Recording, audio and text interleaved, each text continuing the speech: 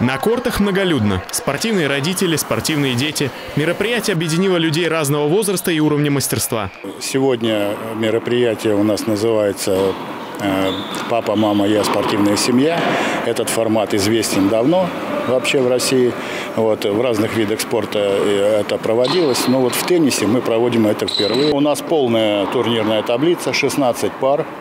Вот, главным критерием на этом турнире было наличие родства. Потому что теннис очень сложный вид спорта. И в этой команде из двух человек ну, какой-то один должен быть обязательно ведущим. Будет иметь понятие в теннисе и знать, как в него играть, знать правила, э, ведение счета. Александра – самая юная участница соревнований. С этого турнира начинается ее путь в большой теннис. У моей дочери первое соревнование в ее жизни, поэтому мы решили подойти всей семьей к этому ответственно заготовили форму, ходили на тренировки. Такие соревнования очень важны как для подрастающего поколения, так и для их родителей, потому что на самом деле можно попробовать свои силы, ребенок узнает, на что он способен. А вот другая пара участников – семья Москаленко. В совместных играх видит только плюсы получить новые впечатления, новые эмоции, э, побывать на месте спортсменов, как это вообще, как собираться, какие эмоции люди чувствуют, как вообще настраиваться на игру. Кирилл Новиков, Анатолий Чекрыгин, Брянск.